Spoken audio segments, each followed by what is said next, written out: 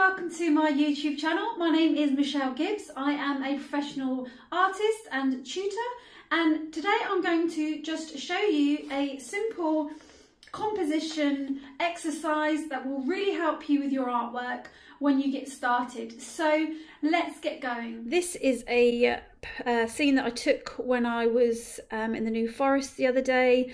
Um, I thought it was really nice. Uh, but what tends to happen is when you're first starting out painting, you will try and create it exactly how you see it in terms of colour, layout, composition, everything.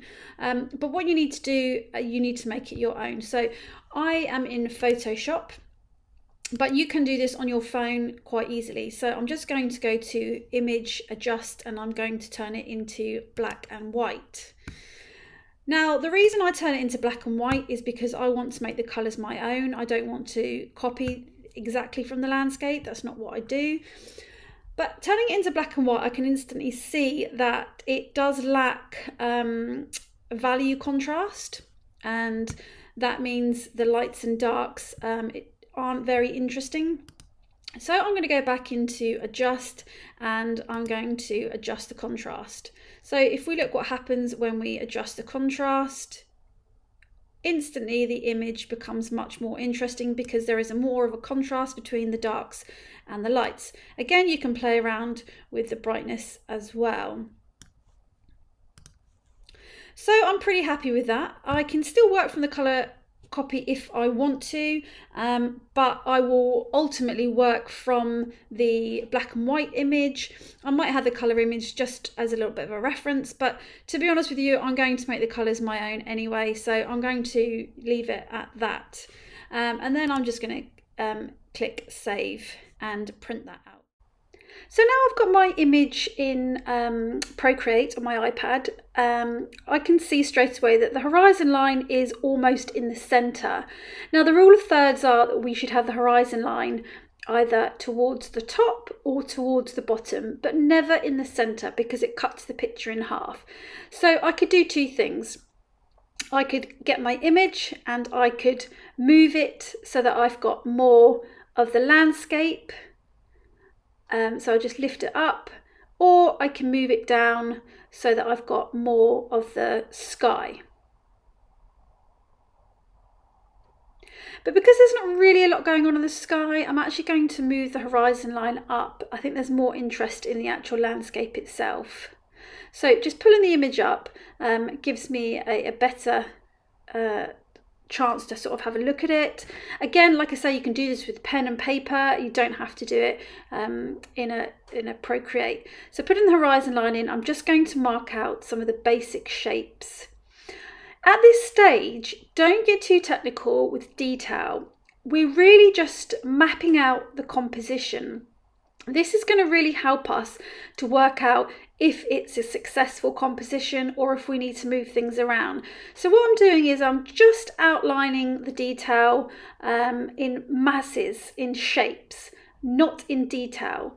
So just by outlining everything, I can get a better idea of whether the composition is any good or not.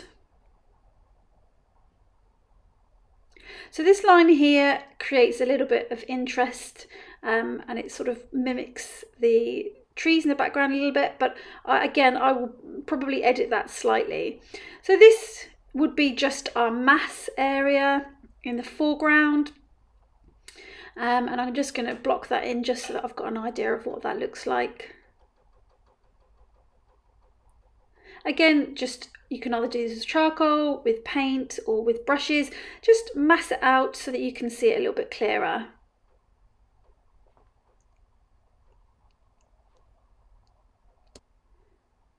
Can do now is I can just take away the actual photo and I'm left with my rough sketch.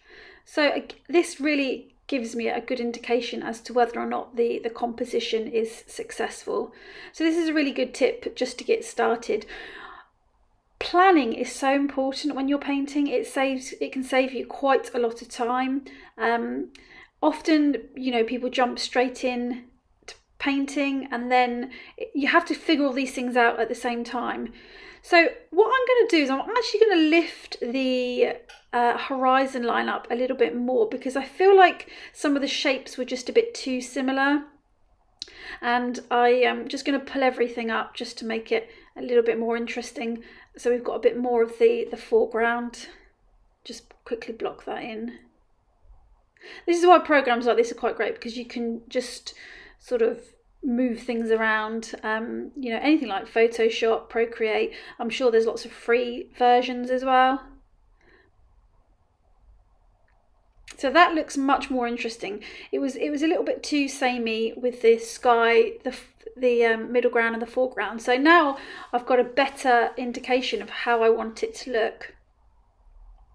So again, I can just add a few more of those reflections just to get a little bit idea because those reflections again create uh, the shape in the water a little bit better.